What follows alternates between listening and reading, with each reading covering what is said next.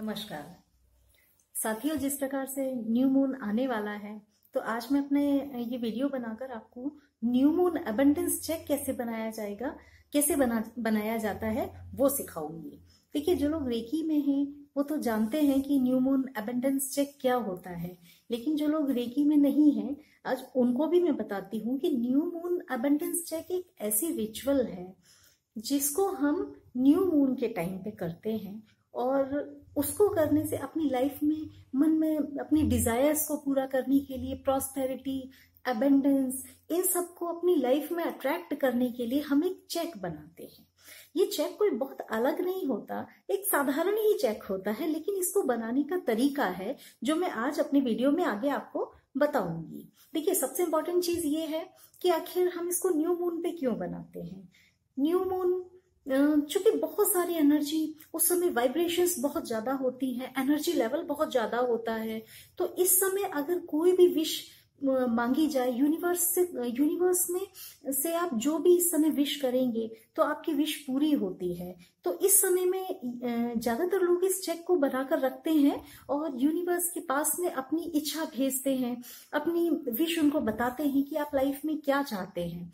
अगर आप प्रॉस्पेरिटी के लिए तो बनाया ही जाता है, लेकिन प्रॉस्पेरिटी के अलावा भी आप इसको बना सकते हैं। जैसे कि अगर आपके रिलेशनशिप में कोई इश्यू है तो आप बना सकते हैं। अगर आपके हेल्थ में कोई इश्यू है या फैमिली फ्रेंड्स में किसी भी तरह का कोई इश्यू है ऑफ़िस में कोई प्रॉब्लम है, हर प्रॉब्लम के लिए आप बना सकते हैं।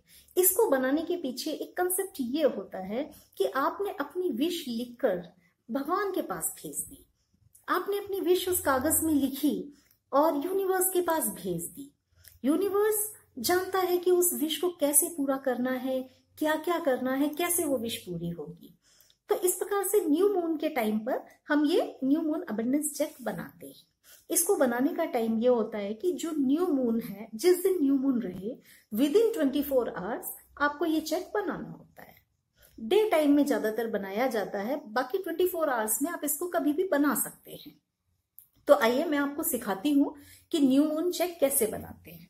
देखिए, सबसे पहले जिस दिन आपको चेक बनाना है, आप अपनी थोड़ी सी तैयारी कर लें। तैयारी क्या, एक आप खाली चेक ले लें। ये तो मैंने चेक आपके लिए एक भर के रखा हुआ है।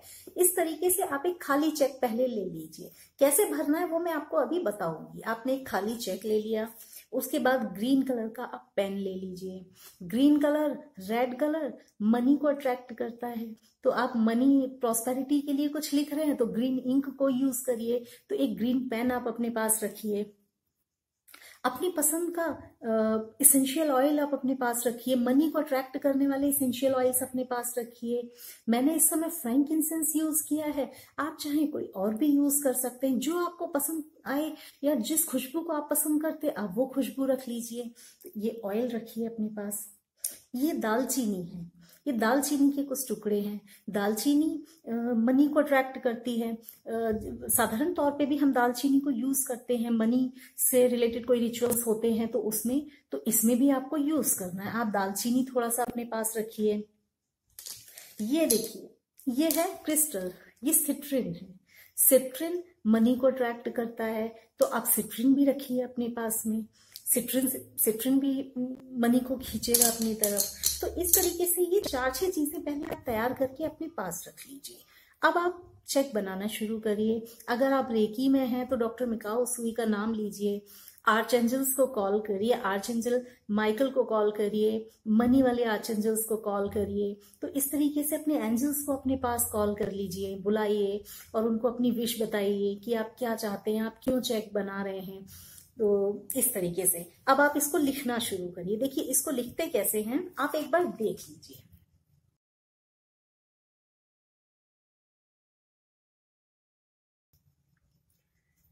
इसकी एक एक चीज़ मैं आपको समझाऊँगी कि कैसे लिखना है। देखिए, ऊपर, सबसे ऊपर, जहाँ पर नेम है, वहाँ पर आपको अपना नाम लिखना है नेम वाले कॉलम में। उसके नीचे, जहाँ पर अमाउंट भरा जाता है, वहाँ पर आप लिखिए पेड इन फुल मतलब आप चाहे तो अमाउंट भी भर सकते हैं, लेकिन बेहतर होता है कि आप पेड इन फुल भरिए। यूनिवर्स पे छोड़िए कि वो आपको क्या और कितना देना चाहते हैं। तो आप इसको यहाँ पर लिखिए पेड इन फुल उसके अलावा यहाँ पर भी, जहाँ पर मनी भरना है, आप वहाँ पर भी लिख दीजिए पेड इन फुल ठीक है? इसके बाद आप आइए नीचे। नीचे देखिए, जहाँ पर सिग्नेचर का कॉलम होता है यहाँ पर। यहाँ पर आप लिखिए लॉ ऑफ़ अबंडेंस देखिए इस तरीके से आप लिखिए, लॉ ऑफ़ अबंडेंस. साथ में मनी को अट्रैक्ट करने वाले कुछ नंबर्स मैंने इसमें जोड़े हुए हैं। जैसे यहाँ पर देखिए, नीचे लिखा है मैंने फाइव टू ज़ीरो ऊपर लिखा है एट ज़ीरो एट जो ये नंबर्स मनी को अट्रैक्ट करते हैं। साथ ही नीचे भी मैंने एक नंबर लिखा हुआ है। ये नंबर्स मैं डिस्क्रिप्शन बॉक्स में भी लिख दूँगी ताकि आपको ठीक से दिख जाए।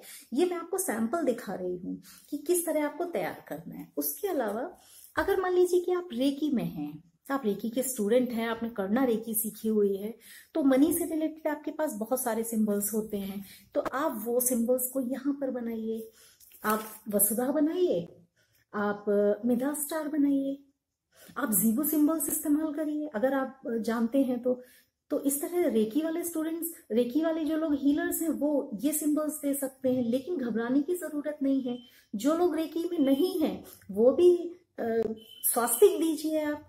आप ओम दीजिए, या फिर आपकी धार्मिक मान्यताओं के अनुसार जिस भी चिन्ह को, जिस भी सिंबल को आप, जिस भी सिंबल पे आप विश्वास करते हैं, उस सिंबल को आप डालिए। कोई भी सिंबल आप यहाँ पर डाल सकते हैं। अपने भगवान से रिलेटेड अपने देवी देवताओं से रिलेटेड आप जो भी लिखना चाहें, उसको आप यहाँ पर लिख दीजिए। इसके अलावा यहाँ पर नीचे देखिए, यहाँ पर लिखिए थैंक यू यूनिवर्स को आप थैंक यू बोल रहे हैं। देखिए, इस चेक को बनाए जाने के, का एक कारण ये होता है कि हम अपना संपर्क, हम अपना जो रिश्ता है यूनिवर्स के साथ जोड़ रहे हैं। हम उनके साथ संपर्क जोड़कर उनको बता रहे हैं कि हमारी लाइफ में किस चीज़ की कमी है। हालाँकि यूनिवर्स सब कुछ जानते हैं, लेकिन फिर भी हम उनसे इस चेक को बनाकर, बनाते वक्त आप अपने मन में अपनी विश को रखिए यूनिवर्स को मन ही मन बताइए कि आपके आप अपने बिज़नेस को बढ़ाना चाहते हैं, या आप इतने पैसों की आपको ज़रूरत है, आप अपने बिज़नेस के लिए क्लाइंट्स को बढ़ाना चाहते हैं सेल बढ़ाना चाहते हैं, या आप स्टूडेंट हैं तो आप अपने एग्ज़ाम के लिए बना रहे हैं तो जो भी आपके डिज़ायर हो, उसको आप मन में रखिए। और यूनिवर्स को समझने दीजिए, उनको समझ में आएगा कि आपने क्यों बनाया है। तो ये चेक बनाकर हम अपना और अपने भगवान का गॉड और एंजल्स के साथ में रिश्ता जोड़ते हैं। तो ये एक बहुत ही पवित्र रिचुअल है, जिसको बनाकर हम प्रॉस्पेरिटी और एबेंडेंस को अपनी लाइफ में अट्रैक्ट करते हैं। तो देखिए, कैसे बनाया है, ये तो इसमें लिखा हुआ है तो आपको समझ में इस तरह से आ जाएगा।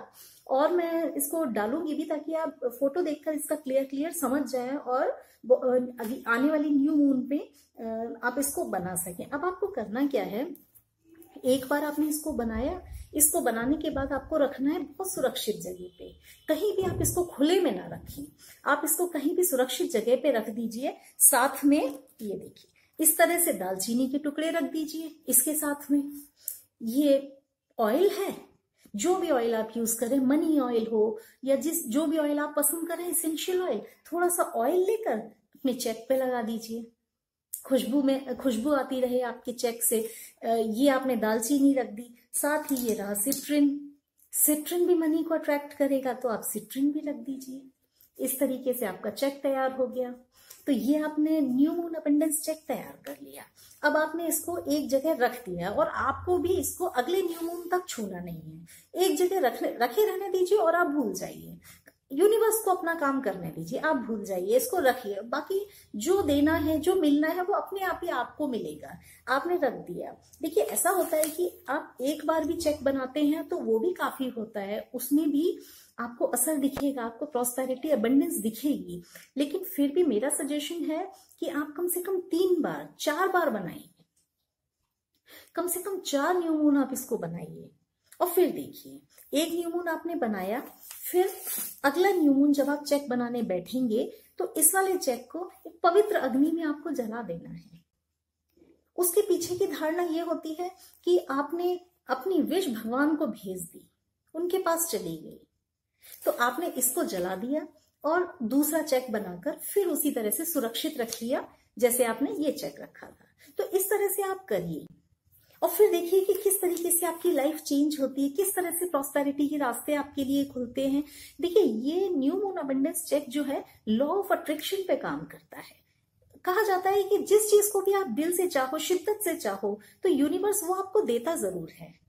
तो इसीलिए अगर आपने बहुत विश के साथ, बहुत इच्छा के साथ अपनी लाइफ में प्रॉस्पेरिटी चाहिए है मनी चाहा है या कुछ और चाहा है तो वो यूनिवर्स आपको ज़रूर देगा। बस आपके अंदर इच्छा शक्ति मज़बूत होनी चाहिए। तो इस तरीके से न्यू मून पर न्यू मून अबंडेंस चेक बनाया जाता है। तो आप लोग भी इसको बनाइए और फिर मुझे बताइएगा किस तरह से क्या रिजल्ट्स आपको महसूस हुए। और भी साथियों, अगर आप रेकी या कुछ और भी मुझसे जानना चाहें सिचुएट से सीखना चाहें रेकी सीखना चाहें तो आप कभी भी मुझे कॉल करके बात कर सकते हैं।